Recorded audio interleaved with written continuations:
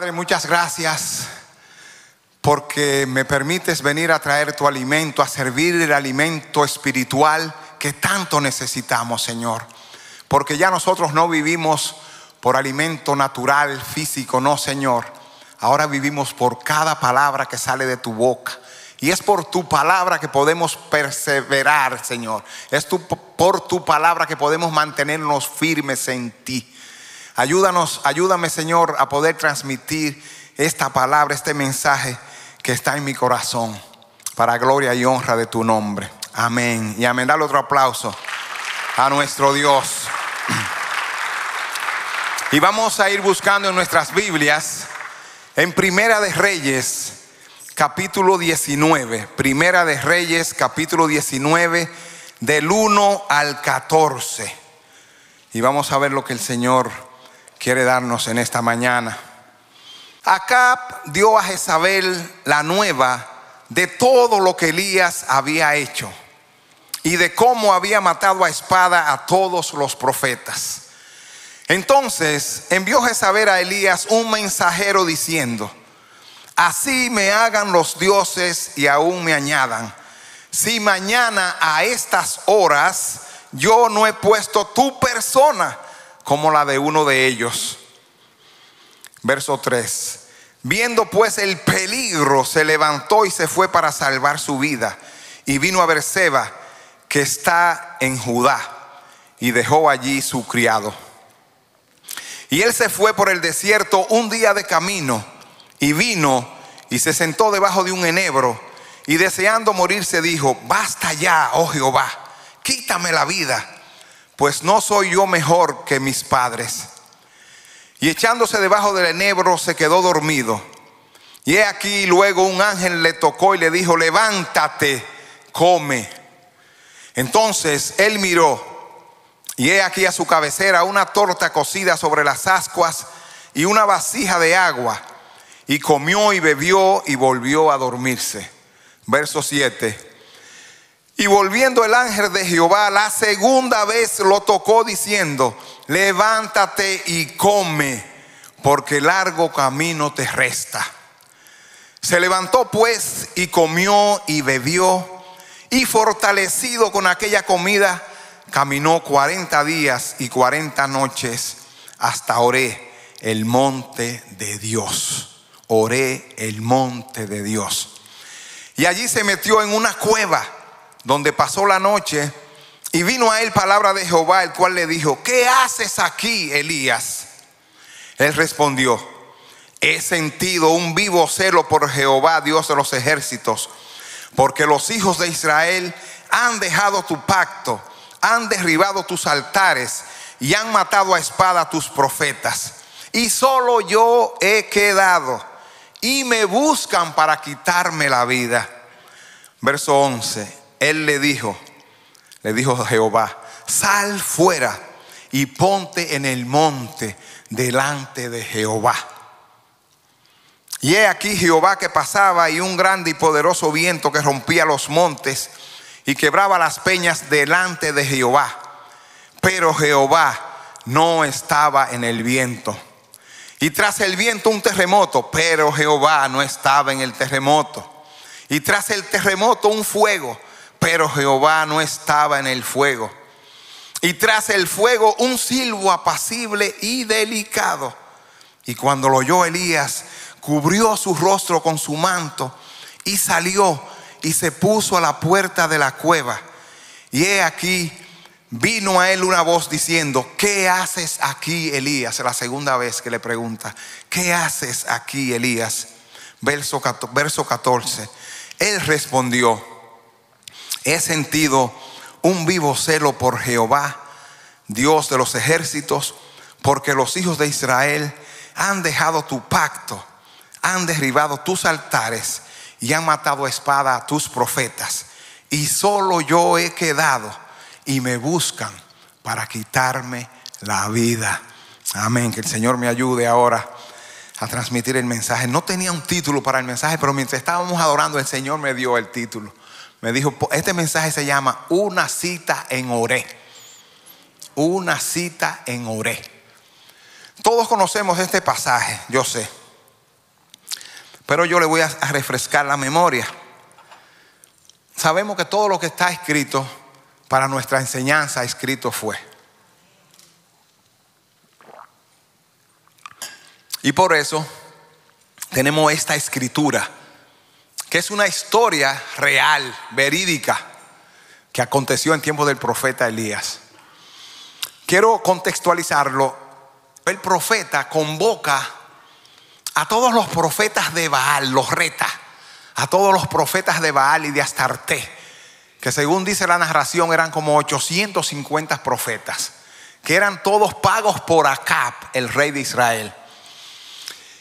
Y Elías convoca a todos estos, profetas porque el pueblo de Dios no solamente adoraba a Dios, sino que también adoraba a Baal y Astarte y otros dioses, pero en este caso adoraban a Baal. Y el pueblo se había apartado de Dios, adoraban a Dios, pero también adoraban a Baal. Y todos sabemos que Dios es un Dios celoso. Él nos cela a nosotros porque somos propiedad de Él y así celaba a su pueblo. Y Él dijo, solamente me adorarás a mí y yo seré el objeto de tu alabanza y de tu adoración. Y por eso Elías, que era un hombre temeroso de Dios, un hombre que quería llevar el pueblo a Dios, reta a los profetas de Baal y en, este caso reta también a Cap, al rey Acá y a Jezabel, que eran los, que habían metido en Israel el, el darle culto a Baal. Porque Jezabel no sé si lo saben, pero lo dice en la escritura, Jezabel era hija de un rey de los sidonios que se llamaba Et Baal, e Et Baal. O sea, Acab va y se casa con una persona de, Tiro y Sidón, o sea, de, Sidón en este caso, de los sidonios. Y ella estaba acostumbrada al culto Baal, porque eso era lo que ellos hacían. Su dios era Baal y otros dioses, pero en este caso Baal. Y Jezabel le inculcó a Cap para que también él adorara a Baal.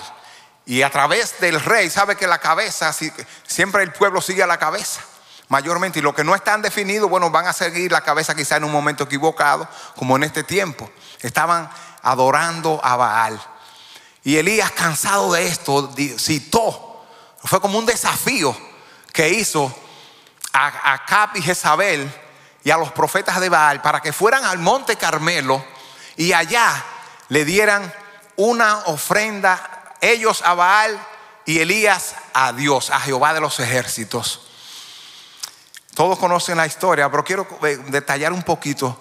Lo que sucede allí es que los profetas de Baal dice que comenzaron desde temprano. Elías le dio la oportunidad, comiencen ustedes adelante, cojan adelante. Porque Elías sabía en quién confiaba. Entonces ellos comienzan a hacer sus ritos, se cortaban, dice, eh, con navaja se cortaban los brazos y querían ver sangre. Un rito bien pagano. Pero esa era su manera de ellos adorar a Baal. Entonces ellos comienzan desde temprano, dice, desde mediodía comienzan a hacer sus ritos y a clamar a Baal y a, a vocear y haciendo tantas cosas. Y dice Elías, dice en el pasaje, burlándose de ellos, dice, bueno, parece que su Dios está dormido, o parece que está meditando, o tal vez está sordo que no lo oye. Se burla de ellos, ¿no? Porque no había ningún resultado. Ellos duraron horas y horas clamando a ese Dios, pero no había ningún resultado. Porque el único Dios que responde es Jehová de los ejércitos. Aleluya. Entonces, ellos se cansaron. Se cansaron y no pasó nada. Yo me imagino que al final dijeron, bueno, Elías, ¿verdad? Tú tienes razón, parece que está dormido, nuestro Dios no nos oye. Entonces le tocó a Elías. Voy a decir con mis palabras, ¿verdad? Parafraseando, no tal como está, para no leerlo. Elías dice que prepara con 12 piedras un altar. 12 piedras porque representaba las, las tribus de Israel. Prepara un altar con 12, 12 piedras y él inclusive dice que hace unas zanjas. Y las llenaron tres veces de agua. O sea, buscaron vasijas y llenaron esas zanjas todo alrededor del altar tres veces. Que rebosara el agua. Que se viera que había mucha agua ahí. Porque Elías quería demostrarle que su Dios responde. Y que su Dios responde a pesar de que haya agua, que haya lo que sea, Dios iba a mandar fuego del cielo. Entonces dice que Elías invocó el nombre de Dios. Y fue tan la, aprobación la que descendió el fuego y lamió las zanjas con todo el agua. Consumió la ofrenda que se estaba dando y, y, se llevó todo lo que había en la zanja. O sea, Dios demostró que Él responde a sus hijos. Aleluya. Y entonces, eso es lo, entonces Elías, después de esto, que eh, quedaron avergonzados los, los profetas de Baal, estos 800 y tanto, eran 450 de Baal y 400 de Astarte, pero quedaron avergonzados. Entonces Elías coge y los degolla a los profetas, reúne al pueblo y dice, hay que matarlo a todos para que no quede ninguno. Y lo lleva al arroyo de Sison. Ahí está en la palabra, lo lleva al arroyo de Sison y ahí dice que los degolla a todos los profetas para exterminar con el culto a Baal. ¿Qué pasa? Que Acap estaba ahí y vio todo lo que sucedió. Entonces acá llega, llega a su casa muy triste, cayó en una depresión acá. Dice que no quería comer y lo que quería era dormir solamente. Y Jezabel le dice, pero ¿qué te pasa? Porque Jezabel era, bueno, ustedes saben ese espíritu, lo que era Jezabel. Entonces Jezabel le dice, pero tú siendo el rey de Israel, ¿qué te pasa ahora? Que no quieres comer, no quieres nada. Dime qué fue lo que pasó. Y me imagino que Elías, porque Elías le tenía miedo a ella. No lo dice la Biblia, pero yo me lo imagino, porque con el carácter tan fuerte que ella tenía y el espíritu tan fuerte, que Elías, eh, Acap le dice, no, lo que pasó fue que Elías, el profeta Elías, Elías el tisbita ese, me imagino que lo diría con desprecio, hizo una demostración donde su Dios descendió y el Dios de nosotros no apareció. Y Además de eso, mató a todos los profetas de Baal, los degolló en el arroyo de Sison. Y él dijo, ¿qué? ¿Qué hizo Elías? Entonces ahí comienza, ahí comienza la narración del 19, dice, acá Dios a saber la nueva de todo lo que Elías había hecho. Oye, acá va y le cuenta y le dice todo lo que había sucedido. Y de cómo había matado a espada a todos los profetas. Entonces dice el 2, entonces envió Jezabel a Elías un mensajero diciendo, así me hagan los dioses y aún me añadan, si mañana a estas horas yo no te he puesto, no he puesto tu persona como la de uno de ellos, wow, una amenaza, tremenda amenaza de Jezabel a Elías. Y Elías conocía lo que era Jezabel y conocía de que era capaz, porque ya tenía su historia. Hay una historia muy conocida acá también de Jezabel. Eso lo, digo para que ustedes sepan la magnitud de la maldad que había en esta mujer. Acá un día se antoja también de una viña que tenía Nabot. Hemos oído, hemos leído eso y, el pastor no ha predicado y hemos hablado mucho de eso, pero les refresco. Nabot tenía una viña, una viña que estaba cerca del palacio.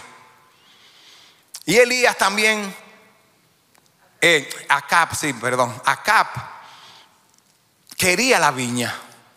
La que dice que la quería para poner, hacer una, eh, hortaliza, sembrar legumbres y que la quería. Y siendo el rey, él va donde a Nabot y le dice que le venda la viña o que se la cambie por otra viña. Y le, le, expresa que me interesa la viña, quiero la viña porque quiero, como está cerca de mi palacio, quiero utilizarla. Y Nabot le dice, no señor, eso es una herencia de mis padres. Y yo no la vendo, ni la cambio, ni hago nada. Porque es herencia de mis padres. Entonces, acá se entristece, se siente mal. Y la misma situación que pasó cuando Elías va a su casa, igualito. En una gran depresión. Y Jezabel le dice, ¿qué te pasa? La misma cosa. Que Y le cuenta, no, que nada eh, yo le ofrecí comprarle la viña y me dijo que no. Y entonces Jezabel le dice, tranquilo, tranquilo, acá, déjame eso a mí. O sea, ya como ella tenía ese carácter, ese espíritu más que todo, porque ese espíritu de Jezabel es tremendo. Ella le dice, déjamelo a mí, que yo arreglo eso. Yo sé cómo resolver, porque esta mujer, como era hija de un, dios, de un rey que servía a los bares, ella sabía cómo era que ellos resolvían las cosas. Para ella matar no era nada, eso no, no, no significaba nada para ella, eso era algo como natural en su vida déjame eso a mí. Entonces ella dice le cuento eh, con mis palabras, parafraseos, que ella envía unos mensajeros allá al pueblo donde estaba Nabot. Nabot, ¿verdad? Nabot. O Nabot, me confundí. Nabot, sí, Nabot. Yo estaba diciendo Nabot por acá, es Nabot, Nabot.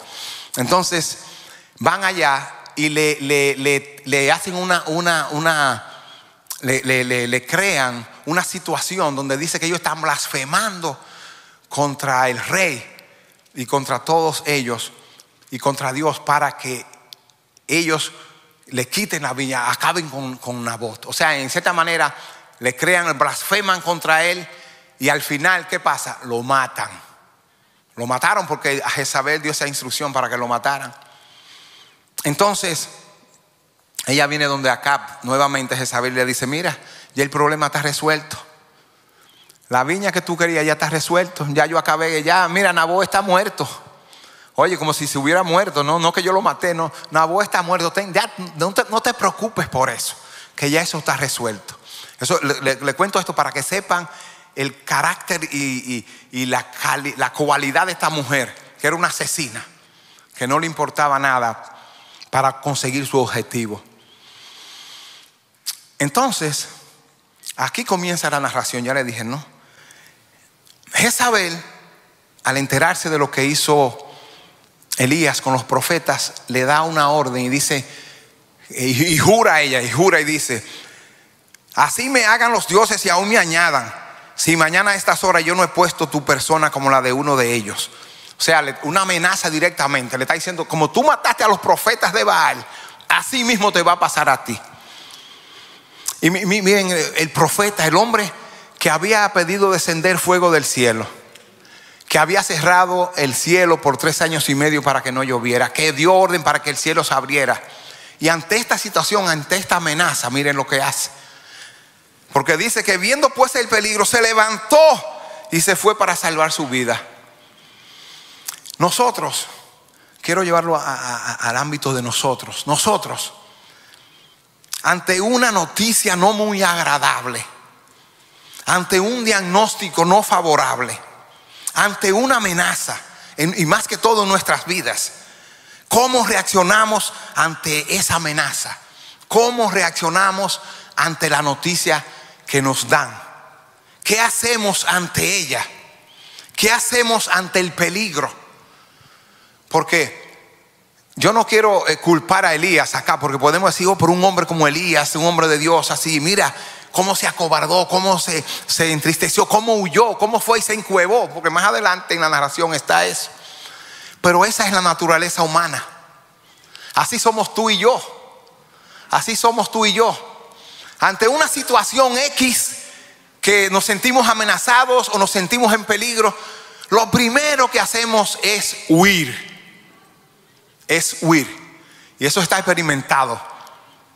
Y yo sé que muchos de nosotros podemos testificar de eso. La mayoría de veces lo que hacemos es huir. Hay tres cosas que yo escribí aquí que podemos hacer. Es huir, escondernos o buscar ayuda. Pero mayormente no buscamos ayuda, hacemos las otras dos cosas. Huimos y nos escondemos.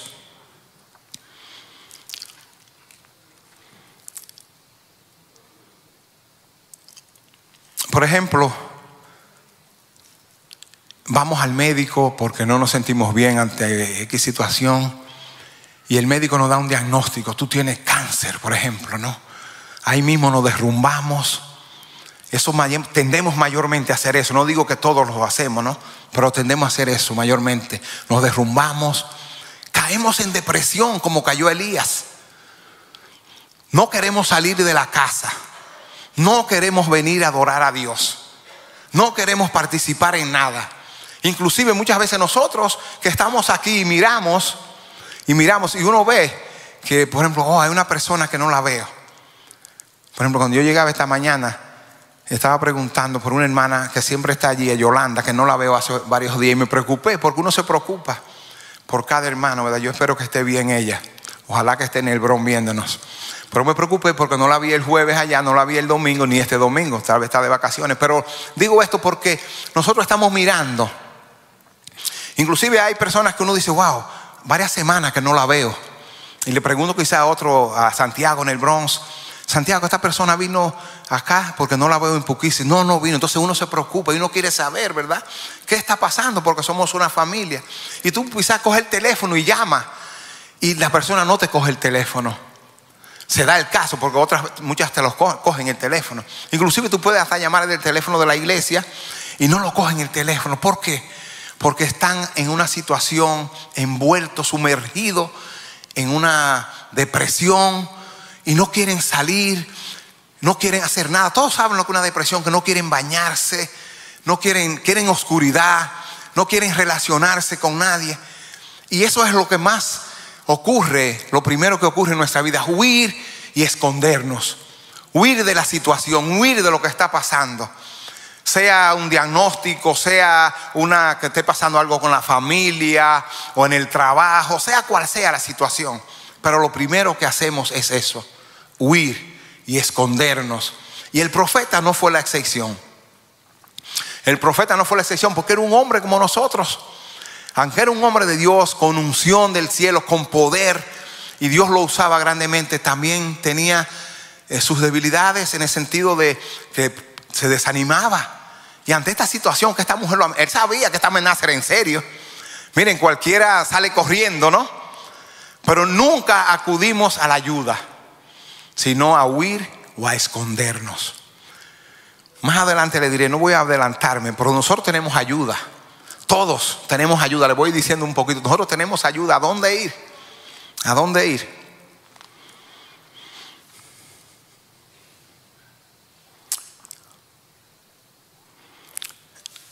Dice en el verso 3, viendo pues el peligro, se levantó y se fue para salvar su vida. O sea, Elías estaba justificándose aquí. Era la vida de él. Yo sé que cualquiera de nosotros hace lo mismo. Sale corriendo inmediatamente. Él se está justificando. Dice, ante el peligro se levantó y se fue, huyó. Huyó, no pensó en lo que había pasado anteriormente, en todo lo que, como Dios lo respaldó, sino que huyó y fue y se escondió, como hacemos todos. Lo primero que hizo fue huir. La segunda cosa que hizo fue esconderse. Humanamente es la primera y más fácil salida que llevamos a cabo ante el peligro o la amenaza. Huir del lugar, escondernos. El huir del lugar donde está el peligro o la amenaza es lo primero. Se nos olvida lo que somos en Dios. A todos se nos olvida.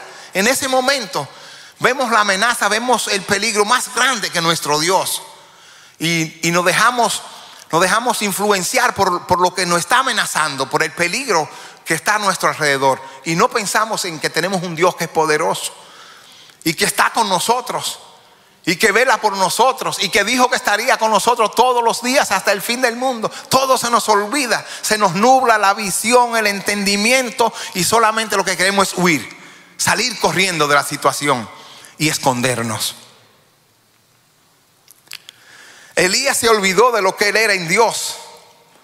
El profeta que dijo que el cielo se cerrara por tres años y medio y que luego abrió el cielo. Que mandó que descendiera fuego del cielo y consumiera la ofrenda en el monte Carmelo. Que degolló a los profetas de Baal en el arroyo de Sison. Ahora estaba huyendo, escondiéndose. Que Dios nos ayude a entender. Vamos a ver más adelante, porque estoy haciendo la introducción. Lo que somos en Dios y que nosotros em, empecemos a conocer al Dios que tenemos, porque en Él tenemos ayuda. En Él tenemos solución, en Él hay refugio, en Él hay fortaleza, en Él hay respuesta. Amén, no hay que huir, no hay que esconderse, no hay que huir ni esconderse. En el verso, en el verso 3b, ahí está así, dice.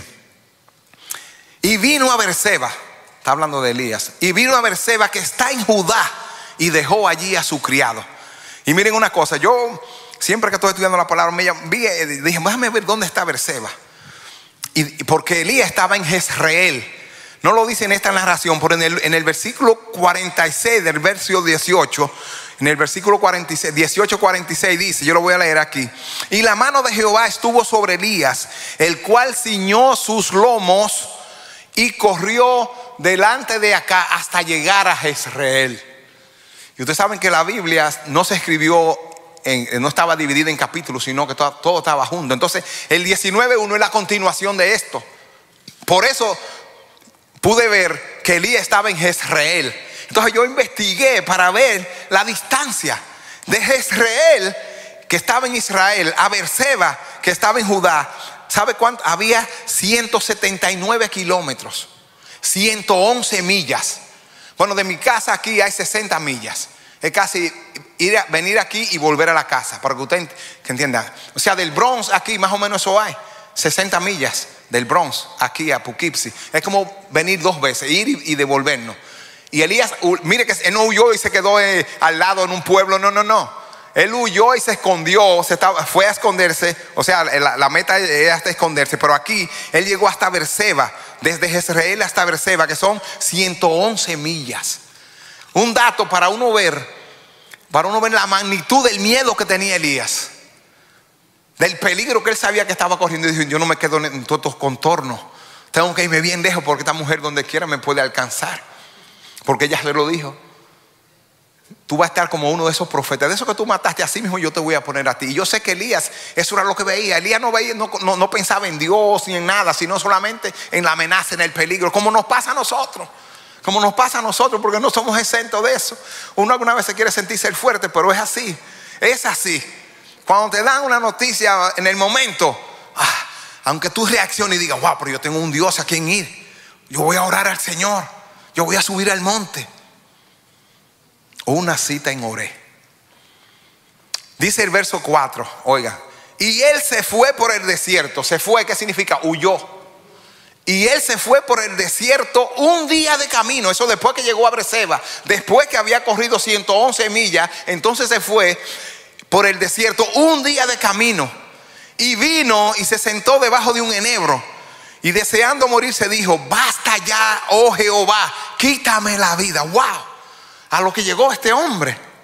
O sea, Señor, ya no soporto más. Es demasiado fuerte esta amenaza. Es demasiado fuerte ese diagnóstico que me dijeron. Es demasiado fuerte que perdí mi trabajo. Es demasiado fuerte que perdí a mi hijo. Es demasiado fuerte que perdí a mi esposa.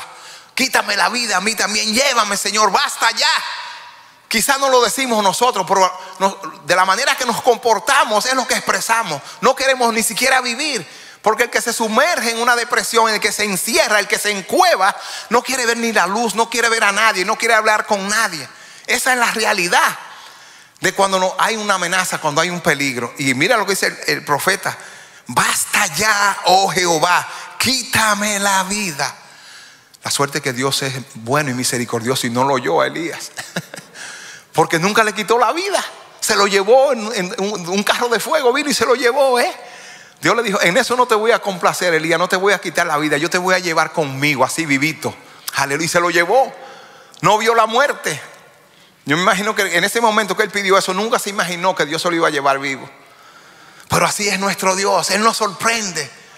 Alguna vez, mire, le, estaba pidiendo, quítame la vida, basta ya, esto no lo soporto. Pero yo dice, tranquilo, mi hijo. Tú no te estás dando cuenta que yo estoy contigo, que tú puedes venir a mí, que yo soy tu refugio, que yo soy tu fortaleza, que yo soy tu galardón, que yo soy tu esperanza. No te dejes influenciar por lo que está sucediendo a tu alrededor. Yo estoy contigo. Se nos olvida esas cosas, se nos olvida. Y nos perdemos. Uno dice, tres semanas que no lo veo en la iglesia, ¿qué está pasando? y él está sumergido en una situación de peligro o una amenaza. Y, lo que quiere es, como dice Elías, basta ya, quítame la vida.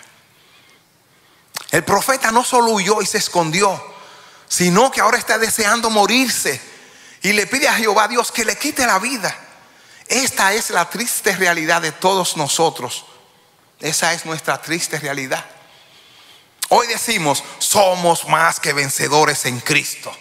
Todo lo puedo en Cristo que me fortalece. ¿Cómo estás? Estoy en victoria. Aleluya. Así somos, ¿no? Así Y luego pasan varios domingos y jueves y no vemos al hermano o hermana. Y nos preocupamos porque queremos cuidarles y guiarles. No es porque no está viniendo, eh, solamente porque no viene, no, no, porque hace falta que tú eres, eres parte de esta familia. Sí, e, e, esta enseñanza es una exhortación. Es una exhortación, un consuelo que el Señor nos trae para cuando, estemos en esas situaciones, porque no estamos exentos. A todo en un momento determinado nos pasa. A todo en un momento determinado nos pasa. No estamos exentos de caer en esto. Entonces dice, no vemos al hermano o hermana y nos preocupamos porque queremos cuidarles y guiarles. Entonces le llamamos para saber qué le está pasando. Y ahí nos cuentan la situación, lo que le está pasando en su vida. Y el hermano que estaba en victoria ahora está sumergido en una gran depresión. No es para poner el hermano en ridículo, no, porque está en depresión. No, no, no, no, porque yo puedo caer también. A todos nos puede pasar. No somos fuertes en nuestra propia fuerza. Somos fuertes en Él. Aleluya, como cantábamos, él, él, es el rey vencedor. Él venció por nosotros. Y en Él es que nosotros tenemos la fuerza. A todos nos pasan y nos puede pasar en un momento determinado. Aleluya. Déjame decirte una cosa, lo digo yo aquí como. No es solamente a ti que te pasa, me pasa a mí, le pasa a todos, somos humanos. Le pasó al profeta, a un hombre como Elías, con la unción del cielo. Wow. Si le pasó al profeta, ¿qué será de nosotros? En el verso 5 dice, y echándose debajo de un enebro, se quedó dormido. Y he aquí, luego un ángel le tocó y le dijo, levántate, come. Eh, me llama la atención, dice que eh, eh, encontró un enebro que me, puso el espíritu a que averiguara qué significaba enebro. Y le voy a decir ahora que me digo, wow, cuando el espíritu te pone algo, hay algo. Hay algo oculto y, por eso lo busqué, pero se lo digo ahora. Dice entonces, dice, y echándose debajo de un enebro se quedó dormido. El que está sumergido en depresión lo que quiere dormir y no quiere comer. Mira, eh, en este tiempo yo no sé cómo no le llamarían a esto. Quizás no existía esa palabra de depresión en los tiempos de Elías, por eso era lo que le estaba ocurriendo, depresión. Se echó debajo de un enebro y se quedó dormido. Entonces vino un ángel y le tocó y le dijo, levántate Elías, sal de ahí, de, esa, de, de donde tú estás sumergido, sal de esa depresión, come, tú necesitas el alimento. Y sabes qué? que necesitamos el alimento físico. Así como necesitamos también el alimento espiritual, la palabra, también el alimento físico. En estos momentos lo necesitamos. Porque si entramos en una, una profunda depresión, nos enfermamos. Vienen otras consecuencias. Ya no quizás eh, solamente la depresión, sino fruto de esa depresión. Puede venir bulimia, anorexia, esas cosas que que le dan a los jóvenes, que muchas veces nos ha tocado vivirla con nuestros jóvenes, que no quieren comer, que se encierran, no quieren bañarse, no quieren hablar con nadie. Y tú quieres como ayudarlo y tratar de cambiarlo, pero es que ellos se, se, meten en una cueva, como se metió Elías, y no ven nada, solamente ven lo que ellos están pensando. Y eso le estaba sucediendo a Elías. Dice, y le dijo, levántate, come. O sea, no quería comer, síntomas de depresión. El verso 6 entonces miró Elías y he aquí a su cabecera una torta cocida sobre las ascuas y una vasija de agua.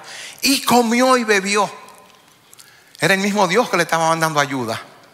Oiga, pero este hombre, Elías, que cuando Dios mandó a cerrar el cielo, le dije, mira Elías, no va, a haber una hambruna por tres años y medio, porque tú mismo vas a cerrar el cielo. Pero yo quiero que tú te me vayas al, al arroyo de Kerib, porque yo te voy a sustentar ahí.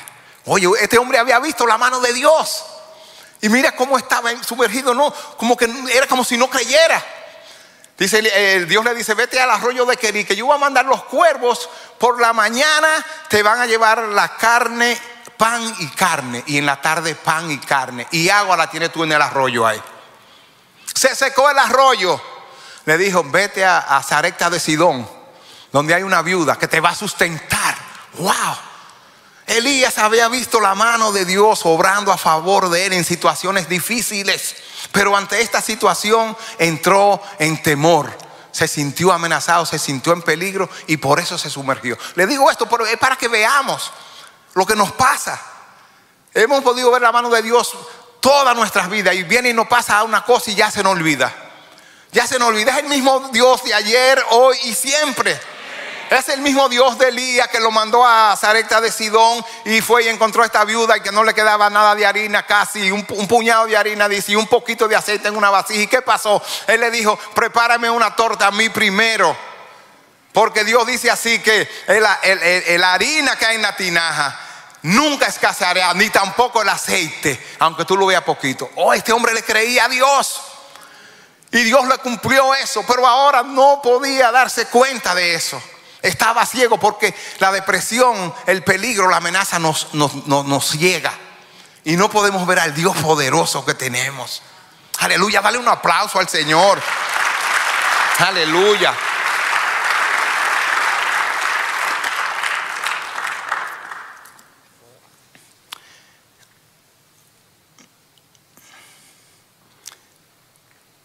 Estamos en el 6, ok, volvió, y volvió a dormirse, sí, donde dice, y volvió a dormirse.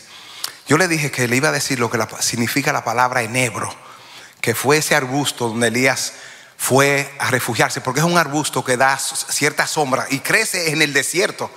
Dice que él comenzó a caminar un día en el desierto, cuando salió de Berseba, o sea que él estaba en el desierto, y fue y se refugió en este enebro. La palabra enebro según la mayoría de los exegetas, lo traducen como miserable, abandonado, desvalido. Wow, como que tenía que ver con la situación de Elías. Así se sentía Elías, abandonado, miserable y desvalido. Dios le dice, yo te voy a poner otro que esté igual que tú para que te dé sombra. Este enebro que significa desvalido, miserable, abandonado, te va a dar las sombras es como diciéndole, de, tu propia medicina yo te voy a dar para que tú recibas por lo menos la sombra y no te, no te consumas en este fuego del desierto. Enebro crece hasta dos metros de altura, lo que se convierte en un gratificante refugio con algo de sombra. También significa desnudez, desnudez. O sea, Elías ahí estaba desnudo ante, ante la situación. Ahí mostró lo que era él, porque ante situación de peligro y de amenaza mostramos verdaderamente eh, lo, que somos nosotros, la debilidad nuestra. Si no es por nuestro Dios, nos caemos todos los días. Pero Él dice, siete veces se cae el justo y siete veces nos levanta. Aleluya, pero tenemos que creerlo. ¿Y por qué que nosotros tenemos que leer la Biblia? ¿Por qué que nosotros tenemos que alimentarnos? ¿Por qué que nosotros tenemos que siempre estar en los cultos para, para adorar a Dios y para recibir palabra de Dios? Porque la vamos a necesitar. En un momento determinado esa palabra la vamos a necesitar.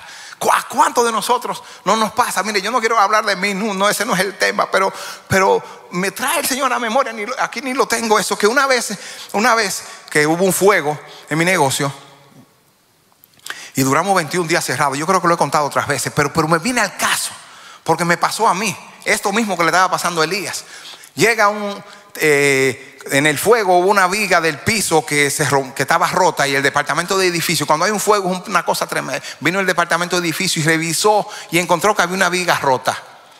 Entonces, nosotros no sabíamos nada, el, socio mío y yo, y me llaman, estamos cerrados, y me, un teléfono raro, pero yo lo cojo, no sé, Dios mismo, cojo el teléfono. Cuando me dice, mira, te está llamando fulano de tal del departamento de demolición de la ciudad de Nueva York. Demolition Department. Y digo yo, Demolition Department. Digo, ajá, dígame, ¿es usted Ramón Ortiz? Sí, dígame. Mira, ¿sabías que allá en, en el edificio de ustedes hay una viga que está rota? Y la ciudad de Nueva York va a declarar ese edificio como peligro público. ¿Qué significa eso? Que te van a demoler el edificio. En ese momento que tú oyes la noticia, ¿qué pasa contigo? Burrum, te derrumba. ¿Verdad? No, no, voy a decir que me quedé como si no fuera. No, no, no, te derrumbas. Y tú dices, Señor, pero, pero, de una vez, lo digo, de una vez, de una vez vino a mí. Vicente, acude a mí. Ven a buscar socorro en mí. Sube al monte delante de mí. Habla conmigo, pídeme a mí. Que yo tengo una solución. ¿Verdad? Estoy diciéndolo así, pero es así que pasa. ¿Por qué? Porque en el momento a quién corro, a quién acudo. Puedo llorar con Carmen junto y con los empleados y decirle esto se acabó, mira, nos están amenazando que no van a derrubar el edificio, que hay un peligro público y aparentemente todo se ve mal. Pero tú dentro de ti te dice, tú tienes a quién ir. Como dijo Pedro, ¿a quién iremos si solo tú tienes palabras de vida eterna? ¿Eh? Vamos directamente allí, ahí mismo, hablando con él. Yo digo, Señor, entre mí digo yo, Señor, no es que nosotros no merecemos que no nos pasen estas cosas, pero tú eres poderoso. tú puedes ayudarnos, confiamos en ti. Yo no sé cómo tú lo vas a hacer porque todo se ve gris, todo se ve mal, pero yo confío en ti. Aleluya. Y entonces, entonces me dice el Señor, tú estás ahí en el negocio. Digo, sí, tú me esperas. Yo estoy en Manhattan, pero voy a ir para allá. Tú me esperas. Digo, sí, yo lo espero. Y llegó un señor ya bien mayor. Y llegó y bajamos al Besman y no sabíamos. Bajamos al y me mostró, mira, ve. Y me mostró la viga. Digo, ¿qué tenemos que hacer? Solución, no huir, no esconderme. Solución, ¿qué tengo que hacer? Me dice, búsquese un arquitecto que le haga un plano y que arreglen esto. De una vez nos movimos y fuimos al departamento de edificios, buscamos un arquitecto, y se hizo todo. Pero, miren, no es que uno le atribuye todas las cosas al diablo, no, no, yo no soy esa persona. Pero había una persecución contra nosotros. Y yo vi que eso era algo espiritual. Por eso lo cuento. Había una persecución porque resolvimos el problema. Buscamos al arquitecto, se hicieron los planos, se estaba preparando todo. Y entonces, como la semana siguiente de ese acontecimiento, estamos un viernes, me acuerdo, el negocio lleno. Estamos Carmen y yo en la oficina y llegan dos inspectores del departamento de edificio, dos blancos. Digo blancos porque tú sabes que tú le ves que, que, eran racistas, perdona que digan eso, pero se veía, ¿no? Y llegan allá y me dicen los muchachos que me están buscando y bajo. Queremos ver un trabajo que ustedes están haciendo acá. Quizás es un poquito largo, pero lo quiero hacer para que ustedes vean las cosas. Entonces, queremos ver un trabajo que ustedes están haciendo. Digo, vamos, vamos al Besma, yo lo llevo. ¿Dónde están los planos? Mírenlo ahí, están pegados en ese poste. Y entonces le enseñamos los planos y él comienza a verlo y dice, sí, esto está muy bien, pero el que está haciendo esto no sabe lo que está haciendo. Me dice, tenían un contratista buscado. Y me explica, dice, no, mira, porque él tiene que poner eh, dos por cuatro en, esta línea y dos por cuatro en esta línea para soportar el piso. Y se veía lógico lo que él decía. Él solamente le puso un 2 por 4 como dos, soportando donde estaba roto. Pero dice él, si quitan la viga se cae el piso. Y tenía lógica, ¿no? Le ¿qué tenemos que hacer? Esta misma noche queremos que vengan y terminen eso. Si no terminan eso, esta noche clausuramos esto. Oye, una persecución tremenda. Y yo, wow, uno se le van las fuerzas, todo, todo, se, todo se, se, te, se te devorona. Y entonces eh, ahí duramos un ratito, llamamos, el, contratista vino con, mucha gente, con una camioneta llena de madera y comenzaron a trabajar. Mientras estamos ahí, se fue ese, el primero. Eran, eran dos, se quedó uno solamente, se quedó conmigo y nos pusimos a hablar. Nos pusimos a hablar ahí en confianza, haciendo horas en lo que ellos terminaban. Y me dice, me dice él, oye, él me dice que era irlandés, que había nacido en el Bronx. Eh, me cuenta su vida. Y entonces yo no sé por qué, ¿verdad? Pero entró en esa confianza. Entonces me dice todo eso. Y me dice, mira, you are a blessing man. Me dice en inglés. Mira hacia el cielo y me dice, you are a blessing man. Y yo digo, wow. Me impactó. ¿Por qué este hombre me está diciendo eso a mí? Dice, mira, el compañero mío lo que quería era venir a cerrarte el negocio. Él se empeñó en cerrarte el negocio. Oh, porque, ¿verdad? Anterior a eso, él, había ido de que para que teníamos el gas ilegal, que no iba a cerrar el gas. Ese mismo día y después volvió en la tarde. Sea, ahí fue que yo me di cuenta que era, una, que era una persecución, era algo espiritual. Entonces, ¿qué sucede? Que me dice ese hombre, you are a blessing man, y me cuenta. Y se, abre conmigo, se sincera conmigo, me dice, mi, jefe, el que se había ido, lo que quería era cerrarte el negocio. Él fue y habló con él, con el encargado del departamento de edificio, con el jefe, y le dijo que le firmaron un papel para venir a cerrar el negocio. Pero hay un Dios grande, hay un Dios poderoso a quien acudir cuando uno está en problemas. Por eso que lo cuento, no para ponerme, yo no, no, por eso que lo cuento, porque yo dije, Señor, tú no vas a permitir que esto ocurra. Y como cuando fue a cortarnos el gas, se fue, se fue. Y volvió otra vez para, para, con la cuestión de la viga y también se fue. Y hasta ahora Dios ha estado con nosotros, aleluya. Y nunca va a dejar de estar. Por eso es que cuando tú estés en peligro, ante una necesidad, ante una amenaza, tú tienes a quien acudir. Tú tienes a quien acudir. Por eso eso se llama una cita en oré. una cita en Oré, porque lo que representa Oré, que lo vamos a ver más adelante. Aleluya, aleluya. Se está poniendo bueno, aleluya, aleluya. Dios es bueno, aleluya. Dios es bueno. En el, en el verso 7 dice, y volviendo el ángel de Jehová la segunda vez le tocó diciendo, levántate y come, porque largo camino te resta. Elías había, Elías había salido huyendo, pero él no sabía para dónde iba. Él no sabía. Por eso el ángel viene y me, gustó eso. Me gustó eso, que el Señor también me dio un mensaje de esto, que lo, estaba preparando también para otro día. Dice, y volviendo el ángel de Jehová la segunda vez, por segunda vez volvió, porque Elías estaba durmiendo, era. Estaba deprimido.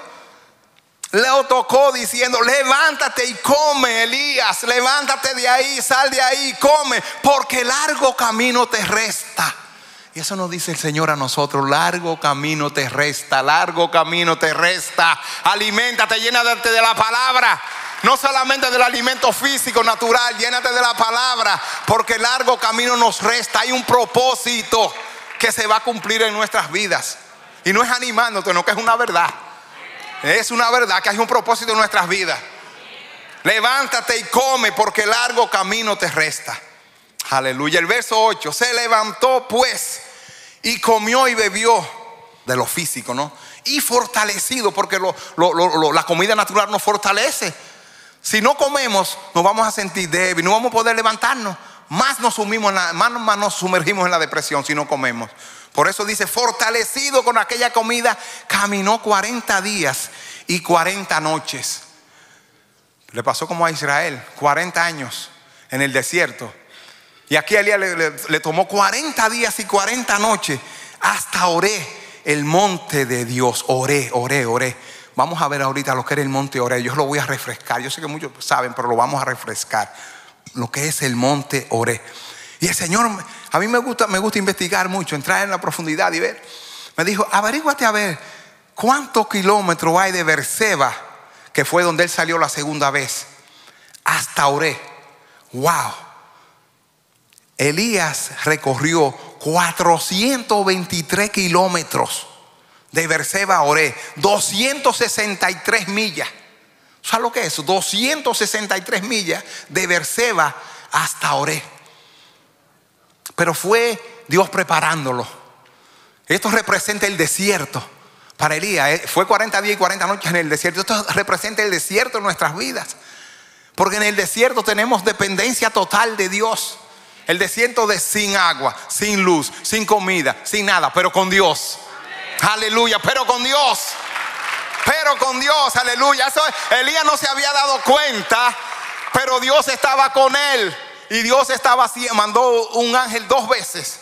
Le mandó para que le dijera, levántate, come, Elías, largo camino te resta. Oye, yo te, yo te, cité a Oré, tú no te has dado cuenta, pero yo te cité a Oré. Yo quiero llevarte a Oré, el monte de Dios. Yo quiero llevarte ahí. El verso 9 dice, miren lo de Elías, miren lo de Elías, Dios santo. Llegó hasta Oré, llegó hasta Oré donde Dios lo quería, en la cita que Dios tenía, dice. Y allí se metió en una cueva se encuevó, huyó y ahora se encueva, se aísla, se encierra, como nos pasa a nosotros también. Huimos del problema de la situación, no queremos nada y nos encuevamos, nos trancamos, nos encerramos, no queremos hablar con nadie, no queremos que nadie nos diga nada. Eso es nuestra naturaleza. Pero nosotros tenemos un hombre espiritual dentro. Que el hombre espiritual siempre nos va a decir, mira, no negamos la realidad de lo que tú estás pasando, pero tú tienes a dónde ir. Tú tienes a quién, a quién pedirle, a quién rogarle, a quién demandarle. Aleluya. Y ese que tenemos siempre responde. Hay una respuesta, hay un mensaje, hay una palabra. En Oré hay una palabra para nosotros. Aleluya. Y allí se metió en una cueva donde pasó la noche. Pero miren lo que pasó. Y vino a él palabra de Jehová. Aleluya. Ya no fue el, ángel que vino dos veces, ¿no? Vino a él palabra de Jehová. El cual le dijo, ¿qué haces aquí, Elías? Y él vuelve y se lo repite en el, en el verso 13, me parece, vuelve y le repite, ¿qué haces aquí, Elías? Lo está diciendo, pero un hombre como tú, Elías, un hombre como tú, que yo he estado contigo siempre apoyándote en todas las cosas. Te he salvado de todos eh, los peligros y las vicisitudes que tú has tenido en el pasado. ¿Y qué haces aquí? ¿Por qué te encierras? ¿Por qué huyes? ¿Por qué te escondes? Tú me tienes a mí. Aleluya. ¿Qué haces aquí, Elías? Y el verso 10 dice, dice, se sentó en una cueva donde pasó la noche y vino a él palabra de Jehová, el cual le dijo, ¿qué haces aquí, Elías? Y en el 10, en la, en la parte final del 10, bueno, él dice, lo voy a leer, he sentido un vivo celo por Jehová, Dios de los ejércitos, porque los hijos de Israel han dejado tu pacto, han derribado tus altares y han matado a espada a tus profetas. Y solo yo he quedado, y miren lo que dice al final en el día, y me buscan para quitarme la vida. Aleluya. Él se estaba justificando delante de Dios, diciendo que el pueblo de Israel había abandonado el pacto, le había dado la espalda a Dios. Dice, y para colmo, Jezabel me quiere quitar la vida. ¿Cómo no me voy a esconder? Me imagino que Dios le diría a Elías, pero tú me tienes a mí. ¿Para ¿Por qué tú estás huyendo y corriendo si me tienes a mí? ¿Verdad? No lo dice ahí, pero me imagino yo no dice. Porque ahí Dios le dice, ¿qué haces aquí? Y me buscan para quitarme la vida. Que esa era la causa de la depresión. Esa era la amenaza, ese era el peligro, porque Jezabel se lo dijo. Que tú vas a estar como uno de esos profetas mañana, seguro. Si él no corre inmediatamente, no, dudo que estaría muerto, ¿no? En el verso 11, este, aquí fue que surgió este mensaje. Este mensaje hace mucho tiempo que yo lo tenía ahí escrito y ahora cuando el pastor me dijo, digo, yo creo que, este es el mensaje.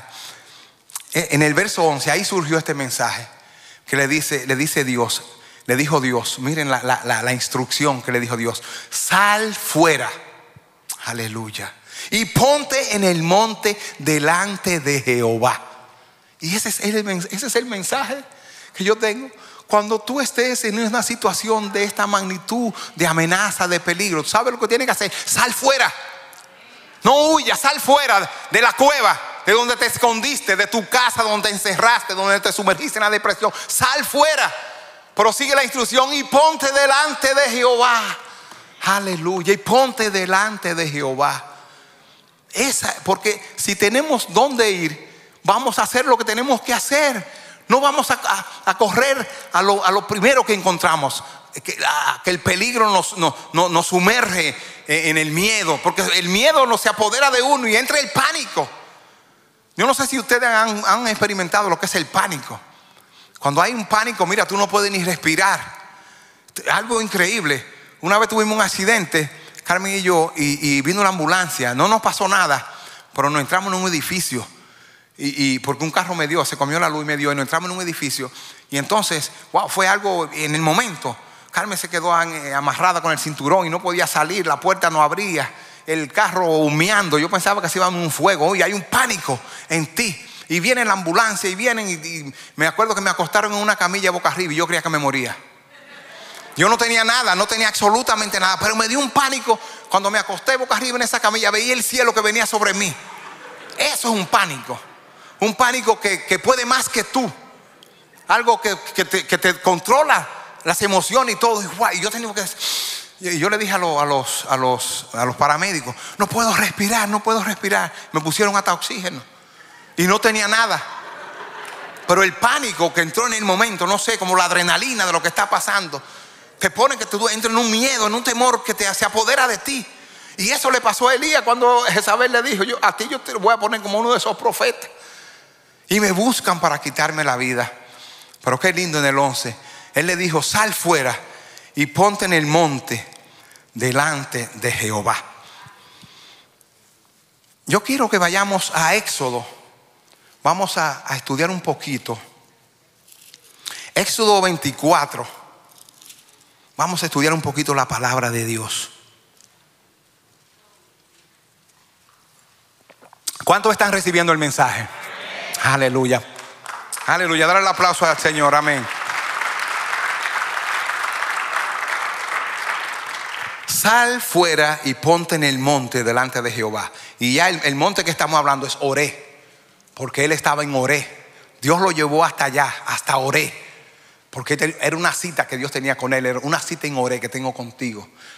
Entonces, dice Éxodo 24, 1 y 2. Vamos a ponerlo ahí. Éxodo 24, 1, vamos a leer el 1. Dice, dijo Jehová a Moisés, sube ante Jehová tú y Aarón, Nadat y Abiú, y setenta de los ancianos de Israel, y os inclinaréis desde lejos. Sube, dice Dios. Eso, eso en Oré. Sube ante Jehová. El verso 2.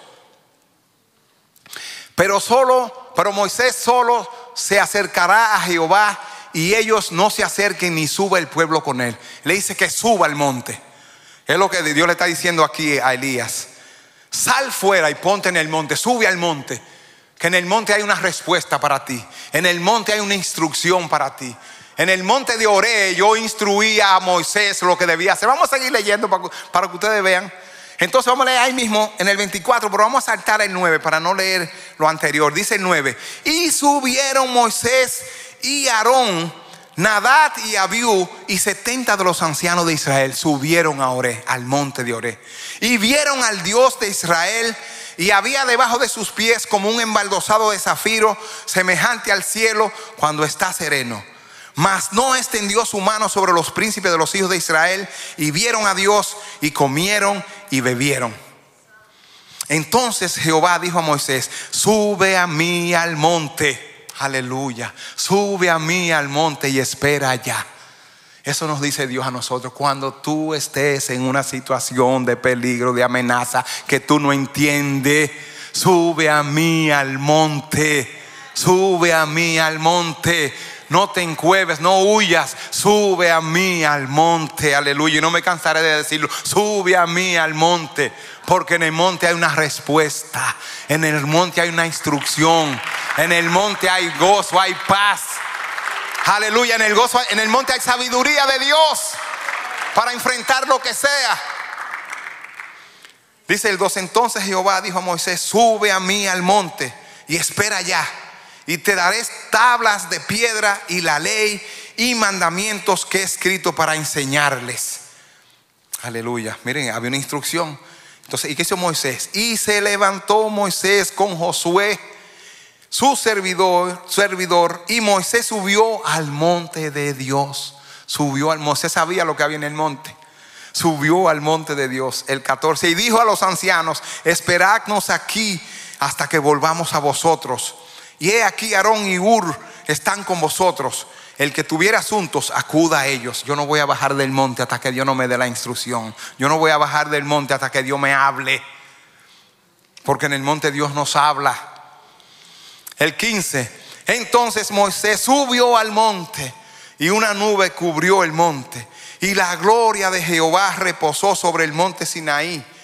Y la nube lo cubrió por seis días. Y al séptimo día llamó a Moisés de en medio de la nube al séptimo día, esperó siete días. Tú subes al monte muchas veces y no haya la respuesta ese mismo día, no te canses. Sigue subiendo al monte. Subo hoy, sigo mañana, sigo pasado mañana, sigo el mes que viene. Todo el tiempo voy al monte. Porque ahí está mi Dios esperándome. En el monte también adoro a mi rey. En el monte fluye la adoración. En el monte también lloramos. En el monte encontramos respuesta de nuestro Dios una cita en el monte Oré. Aleluya. El 17. Y la apariencia de la gloria de Jehová era como un fuego abrasador en la cumbre del monte a los ojos de los hijos de Israel. Y entró Moisés en medio de la nube y subió al monte. Y estuvo Moisés en el monte 40 días y 40 noches. Si Pedro hubiera estado ahí, le dice, vamos a hacer dos enramadas acá. Para no bajar nunca del monte, como dijo cuando en el monte de la transfiguración, ¿no? E, e, es hermoso estar en el monte con Dios. Aún en medio de la situación, de la angustia, de la prueba, de la amenaza, del peligro. Si estamos en el monte con Dios, estamos seguros. Aleluya, dale un aplauso a nuestro Dios. Ahí mismo en Éxodo, vamos al 19. Éxodo 19, 3. Le estoy dando varios mensajes para que ustedes vean el significado de lo que es el monte, el monte de Oré. Vamos a leer desde el 1, 19, 1 al 3. Amén. Dice, en el mes tercero de la salida de los hijos de Israel de la tierra de Egipto, en el mismo día llegaron al desierto de Sinaí.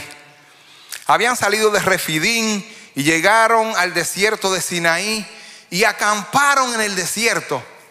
Y acampó allí Israel delante del monte. Aleluya, delante del monte. Y el 3, y Moisés subió a Dios. Y Moisés subió a Dios. Y Jehová los llamó desde el monte, aleluya, subió al monte y Jehová los llamó desde el monte, diciendo, así dirás a la casa de Jacob y anunciarás a los hijos de Israel una instrucción de Dios. En el monte hay una instrucción de Dios. El 4, vosotros visteis lo que hice a los egipcios y cómo os tomé sobre alas de águila y os he traído aquí, he traído a mí.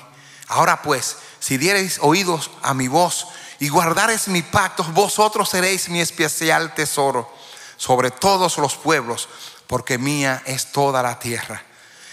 El 6, y vosotros me seréis un reino de sacerdotes y gente santa. Estas son las palabras que dirá a los hijos de Israel. Dios lo convocó al monte, le dijo, sube al monte, sube a Oré. Y Moisés no se desesperó. Porque duró 40 días y 40 noches para que Dios le hablara, pero le habló y le dio esta instrucción para el pueblo. Él era el cabeza, como nuestro pastor. Nuestro pastor que está siempre inquiriendo en la presencia de Dios, buscando la dirección de Dios en todas las cosas. Y cuando viene a traernos a nosotros es lo que Dios le ha hablado en el monte.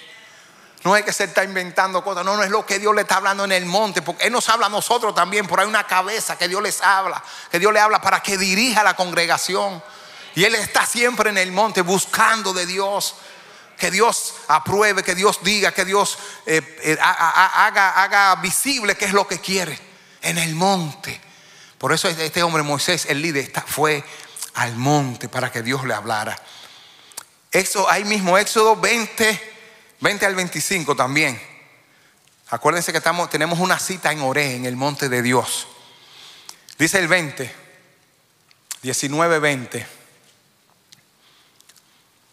Y descendió, Jehová, y descendió Jehová sobre el monte Sinaí, sobre la cumbre del monte. Y llamó Jehová a Moisés a la cumbre del monte. Y Moisés subió. Es una repetición, pero estoy haciendo el énfasis para que ustedes vean de lo que es el monte. Y Moisés subió.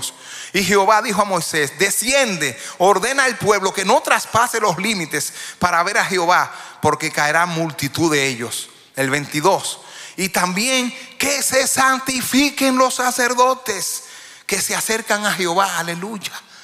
Al monte hay que subir santificado. Al monte hay que subir santificado, apartado para Dios.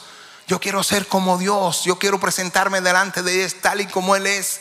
En Cristo Jesús, que Él me apruebe delante de Él, que pueda hablarme, que yo pueda oír su voz. Por eso los sacerdotes que somos todos nosotros debemos santificarnos para subir al monte. Aleluya. Y también que se santifiquen los sacerdotes que se acercan a Jehová, para que Jehová no haga en ellos estrago. El 23. Moisés dijo a Jehová, el pueblo no podrá subir al monte Sinaí, porque tú nos has mandado diciendo, señala límites al monte y santifícalo. Pero nosotros ahora tenemos un camino nuevo y vivo. Esto es en el antiguo pacto que Cristo abrió para ti y para mí. Ahora podemos subir al monte cuantas veces querramos. Porque Él quitó todo obstáculo, todo impedimento. Ahora tú y yo podemos ir donde el Padre, subir al trono de la gracia para hallar el oportuno socorro. Porque podemos subir a ese monte, a ese monte que espera por ti por mí. Y más en situaciones adversas, y más en situaciones de peligro y de amenaza. Vamos a subir al monte. Dale un aplauso a nuestro Dios. Aleluya. Qué monte más hermoso, el monte de Jehová. Pero miren una cosa, miren una cosa. Vamos a Marcos, Marcos 3:13. Miren esto, qué lindo, qué lindo. Marcos 3:13. Aleluya. Dios es bueno. ¿Cuántos lo creen? Marcos 3:13. Miren lo que dice ahí Marcos 3:13. Dice, hablando de Jesús, hablando de Jesús, cuando estaba con sus discípulos, dice, después subió al monte. Aleluya, Jesús subía al monte también. Jesús subía al monte donde su padre, porque él sabía que ahí estaba la fuente, que ahí estaba la necesidad en el monte con su padre. Dice, después subió al monte y llamó así a los que él quiso y vinieron a él. Este pasaje es cuando él, cuando él va a elegir a los apóstoles, a los doce apóstoles. La noche anterior, lo dice creo que en Mateo también, él subió al monte. Wow, qué, qué, hermoso. Él sabía que había que ir al monte para recibir instrucción de su Padre, de su Dios, de nuestro Dios. Por eso el Señor te dice, no te sumerja en la depresión, no te sumerja en la amenaza, en el peligro. Sube al monte, sube al monte, que hay una instrucción para ti. Aleluya, Jesús también subía al monte. Mira, me trae también, no lo busqué. Está en Mateo también, Hexemaní. Hexemaní, wow. Los últimos momentos de Jesús antes de ir a la cruz. ¿Qué pasó en Hexemaní? Que cogió a Pedro y a dos de sus discípulos, los hijos de Zebedeo y le dijo, vamos, apartémonos. Pero subió al monte, subió al monte a orar, a decirle al Señor, fortaléceme, Señor, en esto que voy, en este propósito que, yo sé que está por delante, Señor.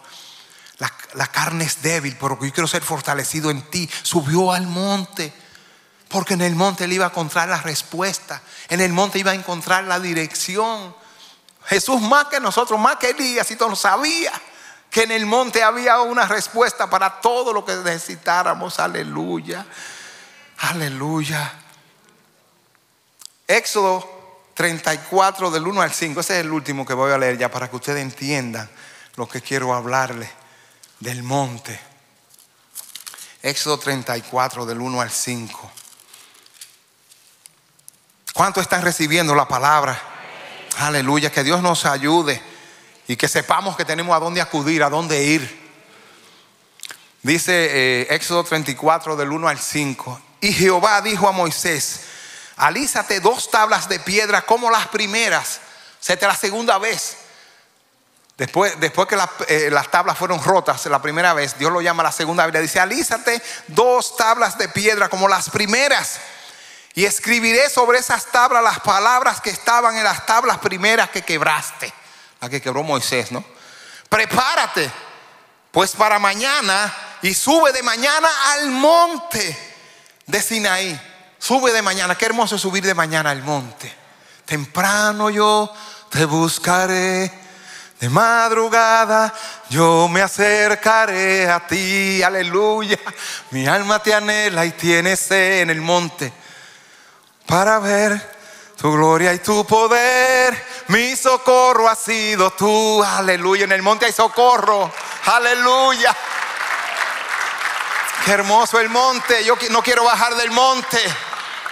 Quiero quedarme en el monte con mi Dios. Aleluya. En el monte no hay noticias malas. En el monte no, no importa lo que esté sucediendo acá abajo en la tierra. Los políticos, que fulano dijo, que no dijo. En el monte hay plenitud de gozo, delicias para siempre. A su diestra. Aleluya. Y Jehová dijo a Moisés, alízate dos tablas de piedra como las primeras y escribiré sobre esas tablas las palabras que estaban en las tablas primeras que quebraste. El 2, prepárate pues para mañana y sube de mañana al monte de Sinaí y preséntate a mí sobre la cumbre del monte. Moisés también tuvo una cita, una cita en Oré. Esta fue la cita de Moisés en Oré, en el monte Oré. Y no suba hombre contigo, ni parezca alguno en todo el monte, ni ovejas ni bueyes pazcan delante del monte. Y Moisés alisó dos tablas de piedra como las primeras y se levantó de mañana y subió al monte Sinaí, como le mandó Jehová, aleluya. Obedecía la instrucción. Hay que obedecer a nuestro Dios para ir al monte como le mandó Jehová, y llevó en su mano las dos tablas de piedra y el cinco. Y Jehová descendió en la nube y estuvo allí con él, proclamando el nombre de Jehová. Aleluya. Aquí en el monte, mira, si lo dice el 6, que no me había dado cuenta. Y pasando Jehová por delante de él, proclamó Jehová, Jehová, fuerte, misericordioso y piadoso, tardo para la ira y grande en misericordia y en verdad. Aquí fue que Dios le, pasó, él es escondido en la, en la peña, ¿no? Le pasó, le pasó para que Moisés pudiera oír la voz de Dios. En el monte oímos su voz. Aleluya. ¿Cuántos quieren ir a Oré? ¿Cuántos quieren subir al monte? Aleluya. Dios te espera ahí. Él tiene una cita con cada uno de nosotros en Oré. Él espera por nosotros en Oré.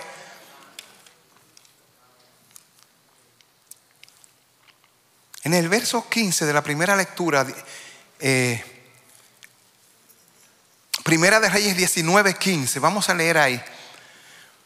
Porque cuando Dios nos llama al monte, como vimos aquí con Moisés, es porque tiene una instrucción, es porque quiere hablarnos y es porque decirnos, quiere decirnos algo importante en frente de lo que está ocurriendo.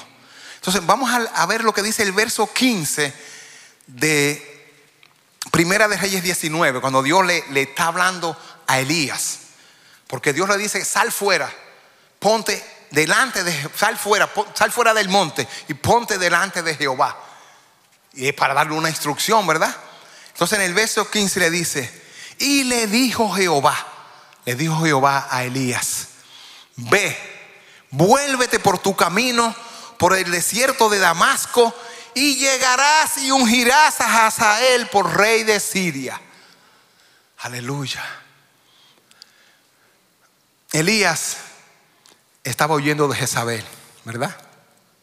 Ante el peligro, ante la amenaza. Y por eso Dios lo hace ir a Oré. Por eso Dios lo lleva a Oré para darle esta instrucción. Le dice, Dios, Dios le dice, mire Elías, yo sé el miedo que te embarga, yo conozco la naturaleza tuya y conoce la de nosotros.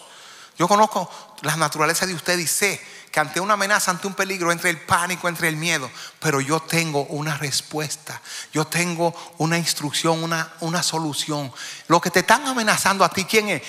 Acab y Jezabel, más que todo. Pues entonces, vete por tu camino por donde viniste, dice, por el desierto de Damasco, y llegarás y ungirás a Hazael por rey de Siria. Primera instrucción, ungirás a Hazael por rey de Siria. Segunda instrucción, a Jehú, hijo de Ninsi, ungirás por rey sobre Israel. Segunda instrucción. Y tercera instrucción. Y a Eliseo, hijo de Zafat, de Abel Mejola, ungirás para que sea profeta en tu lugar. Yo no sé si era que se estaba poniendo viejo Elías ya. Pero yo inclusive le da esa instrucción, ¿no? Pero qué bueno. En el monte eso es lo que encontramos, la instrucción. La instrucción de Dios. Lo que nos va a ayudar a salir de la situación. Porque Él tiene la respuesta que no podemos ignorarlo. Por eso es que hay que subir al monte. Y por eso le está diciendo que unja a Hazael por rey de Siria, a Jehú por rey de Israel y a Eliseo por profeta para que te sustituya a ti. Yo quiero que leamos en Segunda de Reyes, Segunda de Reyes, un poquito más adelante, Segunda de Reyes 8, del 7 al 13. Esta es la primera instrucción que Dios le da Eliseo se fue luego a Damasco y Benadad, rey de Siria, estaba enfermo, al cual dieron aviso diciendo, el varón de Dios ha venido aquí. Y el rey dijo a Hazael, el rey Benadad, sirio, dijo a Hazael, toma en tu mano un presente y ve a recibir al varón de Dios y consulta por él a Jehová diciendo, sanaré de esta enfermedad? Tomó pues Hazael en su mano un presente de entre los bienes de Damasco, cuarenta camellos cargados, y fue a su encuentro. Y llegando se puso delante de él y dijo, tu hijo Benadad, rey de Siria, me ha enviado a ti diciendo, sanaré de esta enfermedad. O sea, le está dando el mensaje de Benadad, que estaba enfermo, ¿verdad? Sanaré de esta enfermedad. Y Eliseo le dijo, ve, dile, seguramente sanarás. Sin embargo, Jehová me ha mostrado que él morirá ciertamente. El 11. Y el varón de Dios le miró fijamente y estuvo así hasta hacerlo ruborizarse. Luego lloró el varón de Dios. Entonces le dijo a Asael, ¿por qué llora mi señor? Y él respondió, porque sé el mal que harás a los hijos de Israel. A sus fortalezas pegarás fuego, a sus jóvenes matarás a espada y estrellarás a sus niños y abrirás el vientre a sus mujeres que estén encintas. Wow. Eso era todo lo que iba a hacer Hazael. Por eso lloró el profeta. Pero Dios era que lo estaba permitiendo. Porque Dios está dando la orden. Úngeme a Hazael por rey de Siria. Yo lo voy a utilizar. Yo voy a hacer que él tome control de todo lo que está sucediendo en Israel. Y dice el 13. Y Hazael dijo: Pues, ¿qué es, es tu siervo, este perro, para que haga tan grandes cosas? Y respondió Eliseo, Jehová me ha mostrado que tú serás rey de Siria. Y el 14, vamos a leer. Y Hazael se fue y vino a su señor, el cual le dijo, ¿qué te ha dicho Eliseo? Y él respondió, me dijo que seguramente sanará. Le habló mentira porque ya él sabía que iba a morir. El día siguiente tomó un paño y lo metió en agua y lo puso sobre el rostro de Benadad. Y murió y reinó Hazael en su lugar. La primera instrucción que Dios le da al profeta, úngeme a Hazael por rey de Siria. Y aquí ocurre el ungimiento. El profeta Eliseo fue y ungió a Hazael por rey de Siria para que él, Dios lo iba a utilizar, eh, eh, va a ser un instrumento en mis manos para que el pueblo se vuelva a, a mí o nuevamente, para que deje a Baal y se vuelva a mí.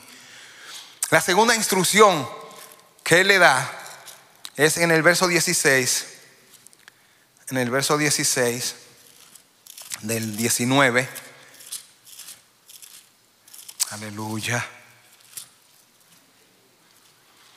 El 16 dice, a Jehú, hijo de Ninsi, ungirás por rey sobre Israel. Entonces vayamos a Segunda de Reyes 9, ahí mismo donde estábamos, 9, Segunda de Reyes 9, del 1 al 10.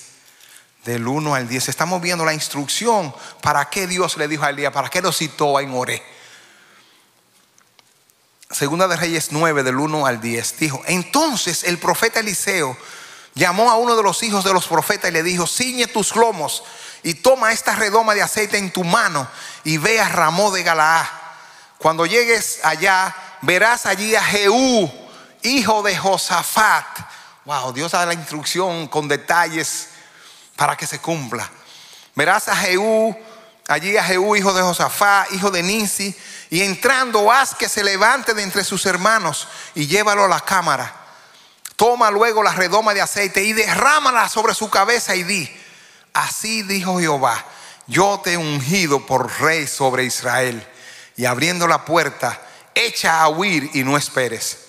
Fue pues el joven, el profeta Ramón de Galaá. Cuando él entró, he aquí los príncipes del ejército que estaban sentados y él dijo, príncipe, una palabra tengo que decirte. Jehú dijo, ¿a cuál de todos nosotros? Y él dijo, a ti, príncipe. Y él se levantó y entró en casa. Y el otro derramó el aceite sobre su cabeza y le dijo, así dijo Jehová, Dios de Israel, yo te he ungido por rey sobre Israel, pueblo de Jehová. Herirás, mira la instrucción.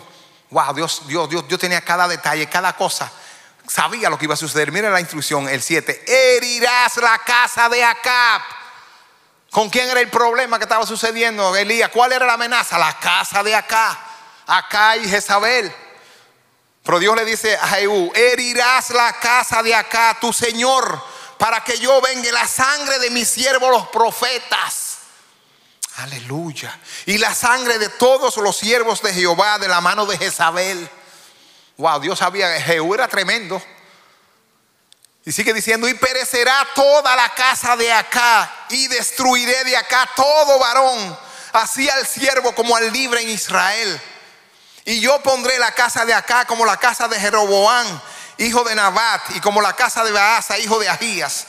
Y a Jezabel, wow, miren lo que, lo que dice Dios, la comerán los perros en el campo de Jezreel. Wow. Dios le está hablando al profeta que esto es lo que yo voy a hacer. Tú tuviste miedo, pero yo tengo hombres valientes, hombres que van a seguir mi instrucción y van a cumplir con ella al pie de la letra. Y a Jezabel la comerán los perros en el campo de Jezreel. Y no habrá quien la sepulte. Wow. Enseguida abrió la puerta y echó a huir. Esa fue la segunda instrucción que dio. No lo voy a leer, pero en el capítulo 10 dice que Jehú mató a Jorán, mató a Ocosías, mató a Jezabel y exterminó con la casa de acá por completo. Se acabó la amenaza, se acabó el peligro. Porque Dios llevó a, Elías a Oré, a esa cita a Oré, porque le dijo, yo soy más poderoso que acá, yo soy más poderoso que Jezabel, y ellos no van a poder conmigo. Y por eso te estoy dando esta instrucción, porque ellos lo van a hacer por ti. Entonces dice en el 19, al final, e, en donde estamos estudiando la palabra, al final dice, y el que escapare de la espada de Hazael, Jehú lo matará. Aleluya. Dios, preparó un plan perfecto, fue. Lo que Hazael, rey de Siria, no pueda matar, Jehú lo matará. Y el que escapare de la espada de Jehú, Eliseo lo matará. Y así se cumplió la palabra. Después léanlo en Segunda de Reyes 10, eh, en el 9 en adelante, el 10, 11, 12, donde, donde Jehú extermina, acaba con toditos ellos. Lo último, cuando llegó donde Jezabel, le, hablo con mis palabras, dice que ella estaba en, una ventana y se pintó los ojos y que sé yo cuánto, con antimonio, hizo unas ceremonias ahí. Y, entró, entró Jehú allá y le dijo a, unos siervos que estaban con ella, ¿qué van a hacer? Se le dio una señal, tírenla y la tiraron por la ventana y cayó reventada en el suelo y los perros, los perros vinieron y se la comieron y la lamieron y, y la solamente ni la sangre la dejaron, como Dios había dicho. Aleluya, en el monte hay una solución, en el monte hay una respuesta. No te dejes amilanar por la situación, sube al monte, que Dios va a dar la instrucción. Yo me imagino que Elías al ver todo esto dijo, wow, me maravillo. Pero miren lo más lindo, ahí el verso 18, 19 y 18, ¿cómo termina diciendo?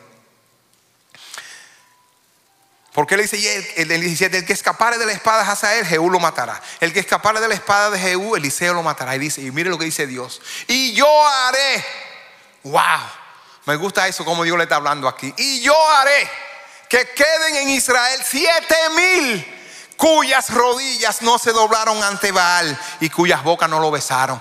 Elías dijo que era el último que quedaba.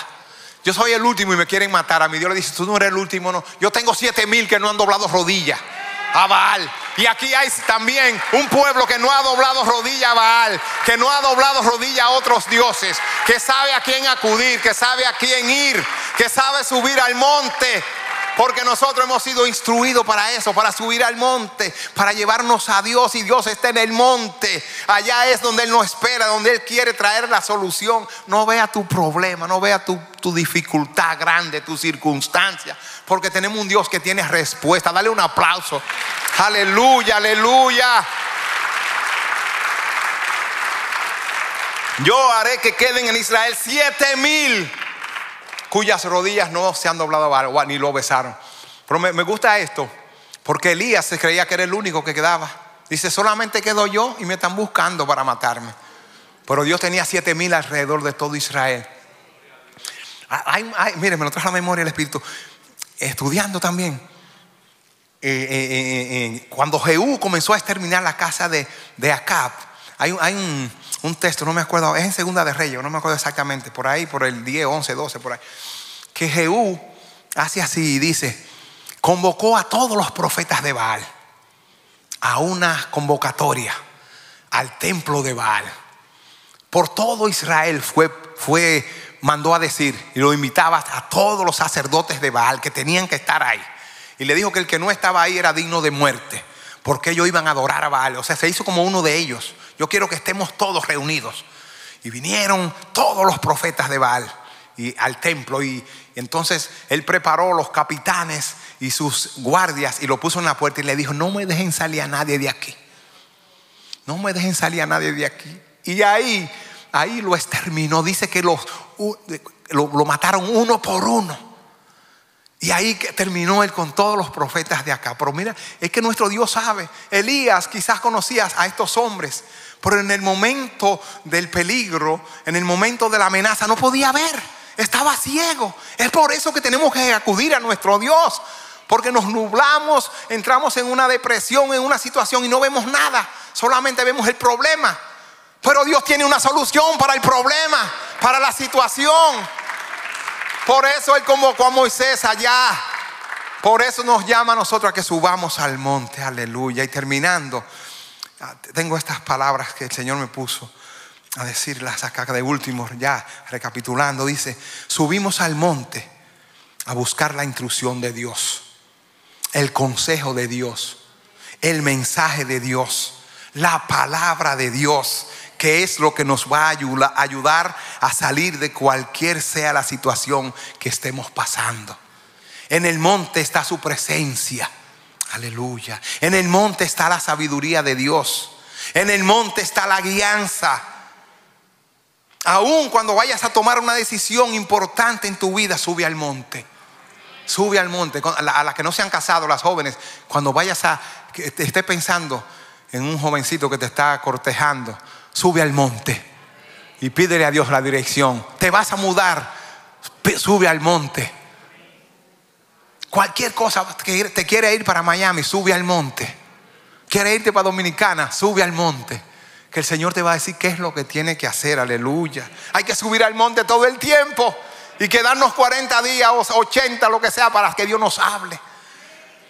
Antes en la religión uno lo decía, pero mira, yo me acuerdo, eh, íbamos a hacer cosas, decíamos, si Dios lo permite, Dios, si tú quieres. Lo decíamos como, como una muletilla, pero en verdad yo lo creía y decíamos, bueno, si Dios quiere. Y así debe ser. En el monte Él tiene la respuesta y Él nos va a guiar. Mira cómo, cómo Elías salió de esta situación. En el monte podemos oír la voz de Dios audible. Para subir al monte debes santificarte. En el monte le puedo adorar. Ya no hay impedimento para subir al monte. Cristo abrió un camino nuevo y vivo que conduce al monte. Tenemos entrada libre al monte. El Padre nos anhela en el monte, nos desea en el monte. Porque al monte no se va solamente con los problemas. Al monte siempre hay que ir a adorarle, a declarar su grandeza, a testificar de lo que Él es para nosotros. Pero ante las situaciones difíciles, de peligro, de amenaza, ahí que tenemos que acudir, no encerrarnos, no encuevarnos como hizo Elías. El Padre nos anhela en el monte. En el monte se van los miedos y temores. En el monte hay sanidad, hay libertad, se rompen las cadenas. En el monte hay delicias a su diestra para siempre. En el monte se manifiesta, el poder de Dios. En el monte está la ayuda y el socorro de Dios. Dale un aplauso al Señor. Aleluya. Vengan los músicos. Y damos gracias a nuestro Dios porque nos habló de que subamos al monte. Yo quiero estar en el monte, en el monte siempre con Él. Que Dios nos ayude. ¿Recibieron la palabra de Dios? Es de edificación para ustedes. Aleluya. Eso es lo que buscamos, que el Señor nos edifique y que sepamos a dónde acudir ante las situaciones. Aleluya. Qué bueno es nuestro Dios. Vamos a adorarle. Hay un lugar, el monte de Oré, el monte de nuestro Dios donde siempre iremos. Padre, yo oro para que esta palabra penetre en nuestros corazones, Señor, y haga el efecto para el cual tú la envías. Porque yo no conozco las situaciones que estamos atravesando, pero sabemos que hay diferentes situaciones que atravesamos y que nos pueden, Señor, sumergir en, el, en la amenaza, en el peligro, en la depresión. Pero sabemos a dónde ir, hay una medicina, sabemos a dónde acudir, a, a quién ir ir al monte, subir al monte, porque tú tienes la instrucción, tú tienes la respuesta, Señor. Haz tu obra, perfecciona tu obra en nosotros. Y, siempre, Señor, recuérdanos, haznos saber que tú esperas por nosotros en el monte. Que tú esperas, Señor, para traer el refrigerio, para traer la guianza. Gracias te damos en el nombre de Jesús. Dale un aplauso al Señor.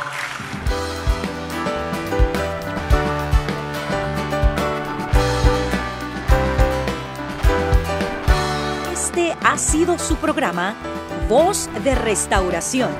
Si desea comunicarse con nosotros, escríbanos al PO Box 70, Bronx, New York 10473 o visita nuestra página web www.elamanecer.org. Nos despedimos hasta la próxima.